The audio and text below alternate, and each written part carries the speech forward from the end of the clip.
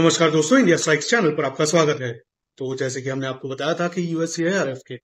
जो लोग मिलकर भारत के खिलाफ कॉन्स्टेंटली नैरेटिव्स बनाते हैं और कॉन्स्टेंटली नेगेटिव रिपोर्ट्स निकालते हैं,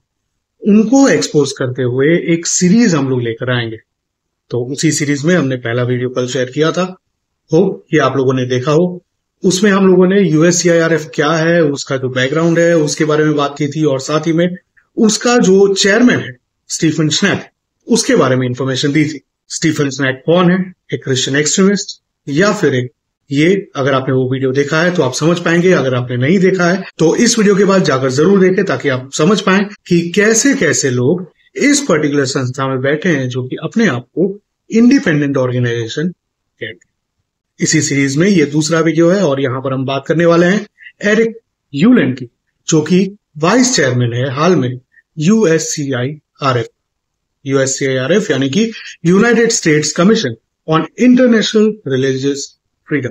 पूरी दुनिया में अलग अलग कंट्रीज़ में धार्मिक स्वतंत्रता का स्तर कैसा है, इसके ऊपर ये लोग रिपोर्ट्स निकालते हैं। वहाँ पर जाकर, वहाँ पर जो मैनिपुलेटेड न्यूज़ है, उनको स्टडी करके जो न्यूज़ उन्हीं के एजेंट्स के द्वारा दिए जाते हैं अलग अलग न्यूज़पेपर में, चाहे वो वॉशिंगटन पोस्ट में हो या फिर न्यूयॉर्क टाइम्स में हो या फिर ऐसे किसी भी इंडियन न्यूज़पेपर में भी। तो उसी के बेसिस पर वे लोग रिपोर्ट्स निकालते हैं और इंडिया को पाकिस्तान को चाइना को और अलग अलग कंट्रीज़ में जो धार्मिक स्वतंत्रता है, उसके ऊपर ये लोग यूएस गवर्नमेंट को सजेस्ट करते हैं कि उन कंट्रीज़ को कैसी कैटेगरी में डालना चाहिए। तो ये है यूएससीआईआरएफ जिसके बारे में हमने थोड़े बहुत डिटेल में पिछले वीडियो में बात की थी। बात करेंगे इस वीडियो में एरिक्यूलेंट की। शुरू करने से पहले वीडियो को लाइक करें चैनल को सब्सक्राइब करें, ताकि ऐसी जो भी संस्थाएँ हैं, उनके बारे में एक्सपोजेस हम लोग एक एक एक एक करके लेके आए। तो बने रहे हमारे साथ सब्सक्राइब करके बेल आइकन दबाना ना भूलें, और यहाँ पर क्यूआर कोड दिया हुआ है तो फाइनेंशियल सपोर्ट करना भी ना भूलें, ताकि इस प्रकार की खबरें हम लोग कॉन्स्टेंटली लाते रहे, हमारे जो एफर्ट्स हैं, उसको, उस प्रकार से भी अप्रिशिएट कर। हो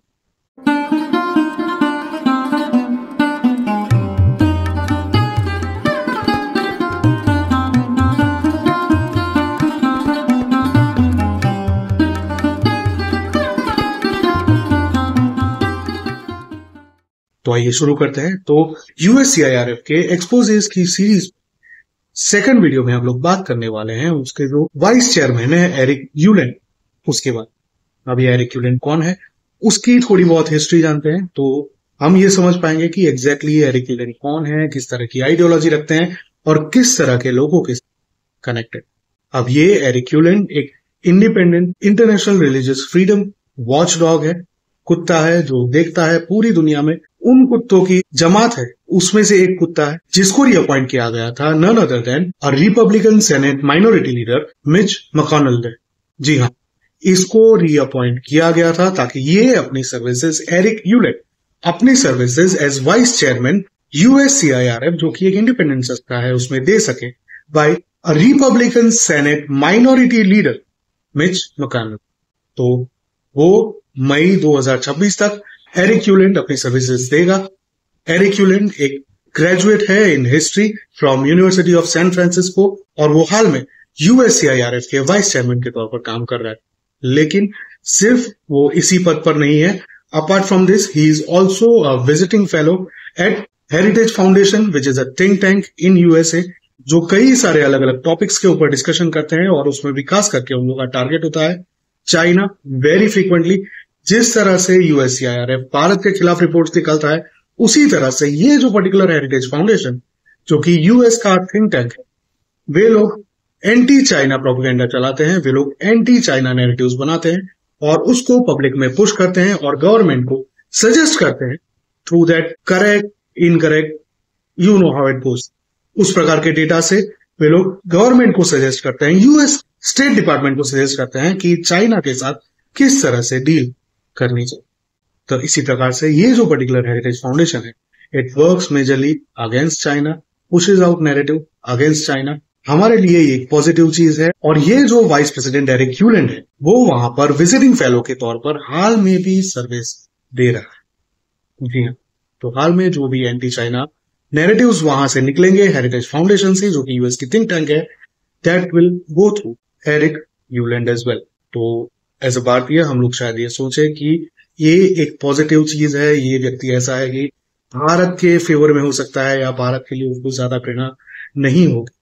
तो होल्ड योर हॉर्सेस क्योंकि आगे कुछ इंफॉर्मेशन ऐसी है जो ये धारणा को बदलने along with Heritage Foundation and along with USCIRF, he is also a public advisor in Paragon Health Institute in US, जो कि हेल्थ सर्विसेज़ से रिलेटेड जो भी रिसर्च है उनमें इन्वेस्ट करते हैं और उसके ऊपर वर्क करते हैं। तो उसमें भी वो अपनी सर्विस दे रहा है और साथ ही में एक एडवाइजरी बोर्ड है Center for Constitutional Liberty at Benedictine College वहाँ पर अब ये जो पर्टिकुलर बेनेडिक्टिन कॉलेज है, उसका भी बैकग्राउंड काफ़ी ही इंटरेस्टिंग है। ये बेनेडिक्टिन कॉलेज स्पॉन्सर किया जाता है। None other than Christian monks and sister तो उनकी आइडियोलॉजी भी किस प्रकार की रहती है, वो भी आप समझ पाएँगे। और उसकी एडवाइजरी बोर्ड पर कैसे लोगों को वे लोग अपॉइंट करेंगे, वो भी हम लोग समझ पाते हैं। भारत में यूजुअली ये जो टेम्पल्स गवर्नमेंट कंट्रोल में है, उसके चलते उनकी जो बॉडीज हैं, उनके जो बोर्ड्स हैं, उनमें अलग अलग धर्म के कुछ लोग भी घुस आए हैं, लेकिन इन जनरल जब ऐसी कोई रिलीजियस इंस्टीट्यूशन या फिर रिलीजन के द्वारा, किसी फेथ के द्वारा स्पॉन्सर्ड इंस्टीट्यूट होती है तो उसमें जो लोग बैठते हैं, खास करके टॉप मैनेजमेंट में और मिडिल लेवल मैनेजमेंट में, वे लोग उसी फेथ को मैक्सिमम बिलोंग करते तो उसी के ऊपर से आप लोग समझ पाएँगे कि ये जो पर्टिकुलर एडवाइजर बोर्ड पर इसको स्थान मिला है एरिक यूलेट वो किस मेंटालिटी किस आइडियोलॉजी के चलते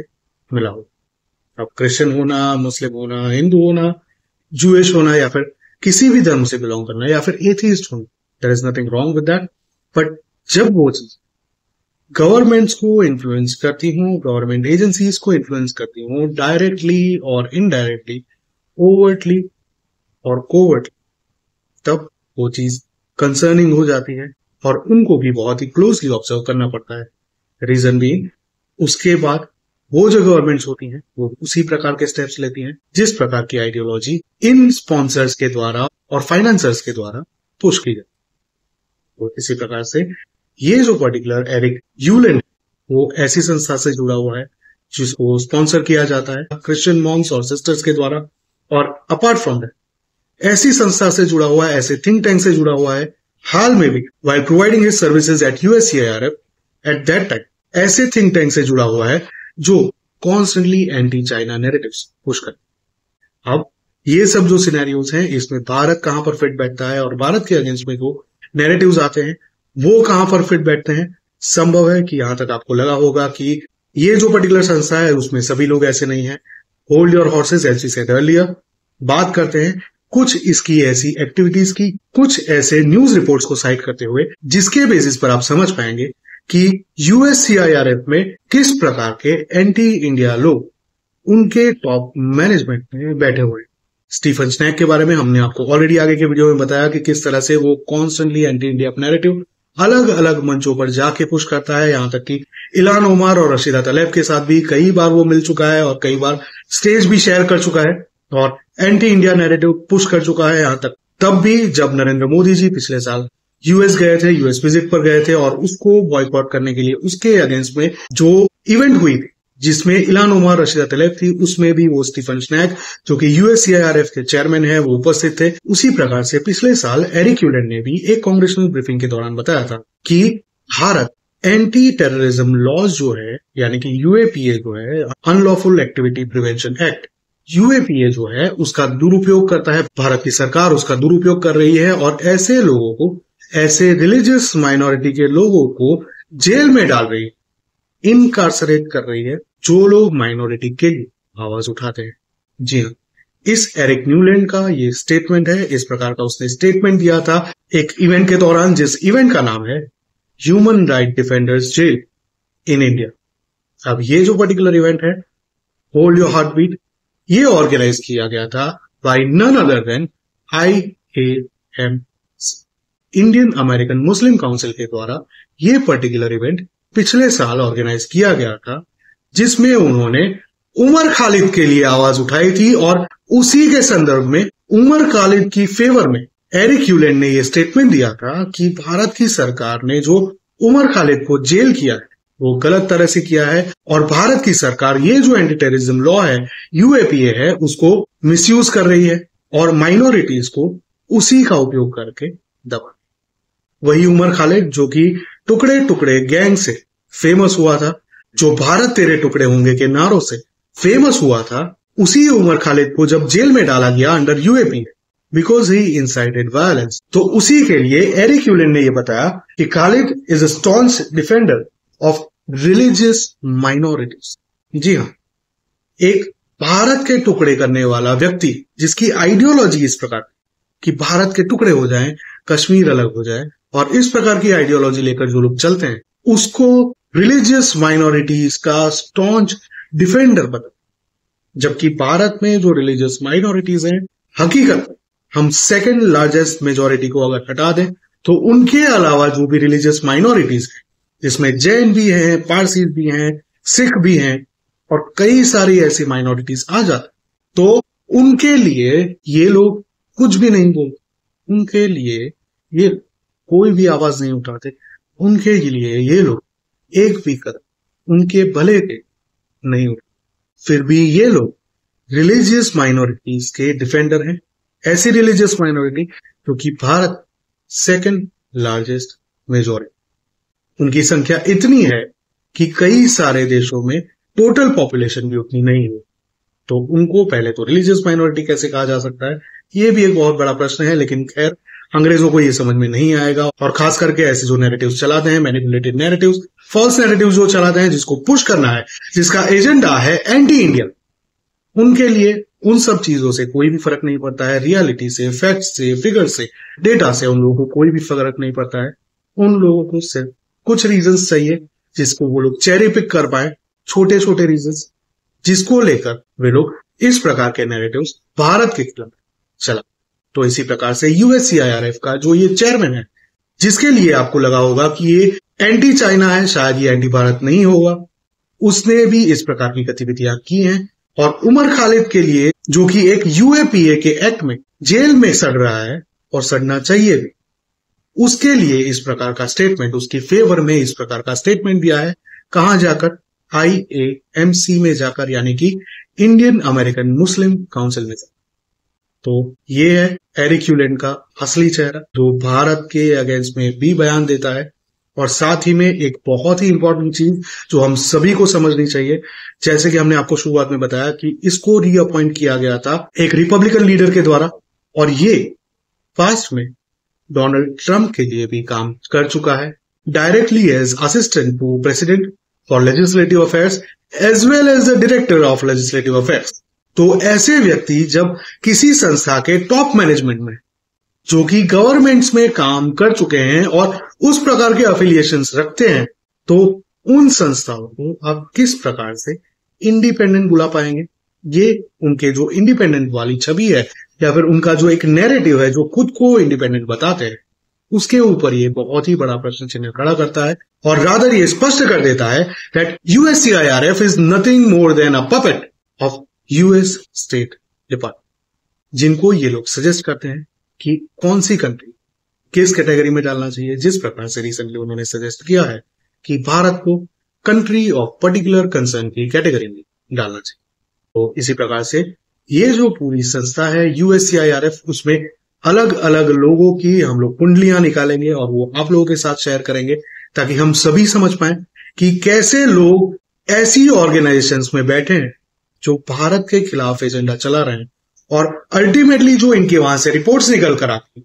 उसके ऊपर कितना रिलाय करना चाहिए? ये सीरीज़ चालू रहेगी। अभी और भी कुछ ऐसे लोग हैं जिनके बारे में जानना बहुत ही ज़रूरी है, जो सिर्फ़ एंटी भारत ही नहीं, बल्कि रेडिकल मानसिकता वाले भी हैं और साथ ही में ऐसे अफिलिएशन भी रखते हैं जो कि रेडिकल ऑर्गेनाइजेशन मानी जाती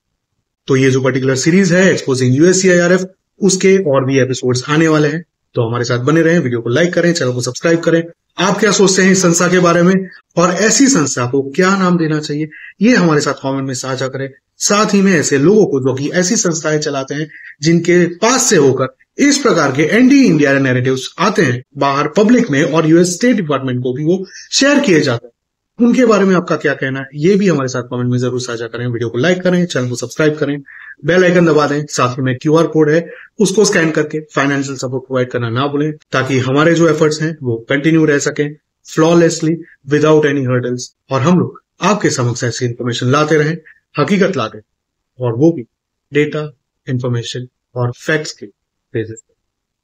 मिलेंगे अगली खबर में, तब तक के लिए जय हिंद, हर हर माता